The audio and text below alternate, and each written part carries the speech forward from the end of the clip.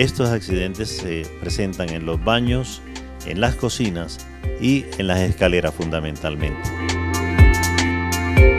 En los baños porque el agua y el jabón se mezclan y el niño se puede caer, el adulto mayor se puede caer.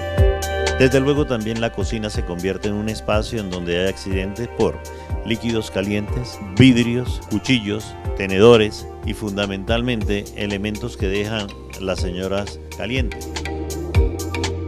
Por ningún motivo en la cocina ni en los balcones de su casa tengan escaleras ni tengan sillas que pueden ser excelentes medios a través de los cuales el menor de edad salte al vacío.